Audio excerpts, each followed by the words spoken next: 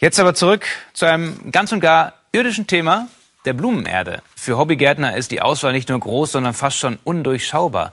Welche Erde ist die richtige fürs Beet, welche für den Balkonkasten? Und reicht ein Billigprodukt oder hilft die Premium-Spezial-Supererde besser beim Wachsen? Mehr über Gedeih und Verderb jetzt in unserem Service. Die Rhododendron-Erde die ist speziell gedacht für Pflanzen, die einen ganz anderen Bodenanspruch haben. Michael Steinebrunner hat als Gartenbautechniker zurzeit reichlich zu tun.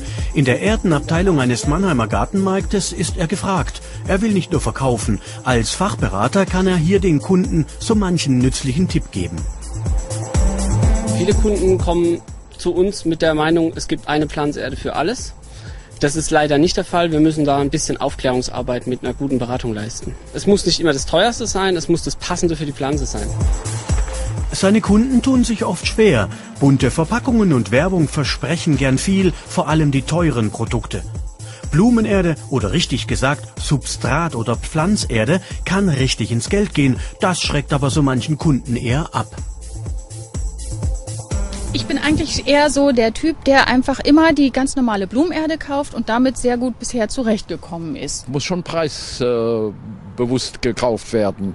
Ich würde sagen mittendrin. Gute Blumenerde ist man, wenn man sich umhört bei den Leuten, ist man eigentlich auf der sichereren Seite. Als wie wenn man billig und es geht einem alles kaputt. Also die Erfahrung hat man auf von anderen schon gehört, dass es nicht immer gut ist. Da hält Nasrin Irshakea dagegen, sie sucht einfach nur etwas Günstiges. Blumenerde ist für sie eher nur Nebensache. Für mich ist eigentlich Erde Erde und äh, meistens wächst da drin auch einfach. Also einfach so, ohne dass was machen muss, ja. Das sehen die Profis anders. Gute Pflanzerde ist für den gärtnerischen Erfolg entscheidend, heißt es an der staatlichen Lehr- und Versuchsanstalt für Gartenbau in Heidelberg. Robert Koch ist Spezialist für Substrate. Er weiß, auf was es ankommt. Gute Blumenerde sollte strukturstabil sein. Sie sollte das äh, Wasser gut halten. Sie sollte angenehm riechen. Können wir gleich mal den Geruchstest machen. Ja, die riecht gut nach Humus. Die riecht wirklich gut. Und ähm, sie sollte natürlich auch entsprechend aufgedüngt sein. Das heißt, es sollte möglichst schon Dünger zugemischt sein. Und natürlich soll Blumenerde frei sein von Schädlingen und Unkräutern. Der günstigste pH-Wert, das ist der Säurewert, liegt bei Standardblumenerden zwischen 5,5 und 6,5. Das Angebot im Handel ist riesengroß und es ist nicht leicht, sich als Laie einen Überblick zu verschaffen. Wer dennoch genau wissen will, was drin ist in der Blumenerde?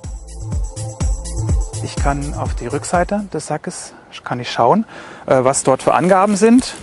Und meist finde ich dort schon auch recht äh, vernünftige äh, Angaben zu der Zusammensetzung oder aber auch zur Aufdüngung. Grundsätzlich besteht Blumenerde aus verschiedenen organischen und mineralischen Bestandteilen. Die Basis ist aus Torf oder Kompost. Dazu kommen oft Holz, Rinden oder Kokosfasern. Mineralische Stoffe sind teilweise Ton, Sand oder Perlite, ein Vulkangestein. Dazu kommt noch Dünger. Ein Vergleich ist möglich, wenn man sich den Preis für einen Volumen Liter Blumenerde ausrechnet. Unsere Stichprobe im Handel hat große Unterschiede gezeigt. Von 4 Cent bis 47 Cent pro Liter. Ist teuer immer besser? Das muss nicht unbedingt sein, weil man auch mit äh, günstigeren Erden gute Qualitäten im Balkonkasten erreichen kann.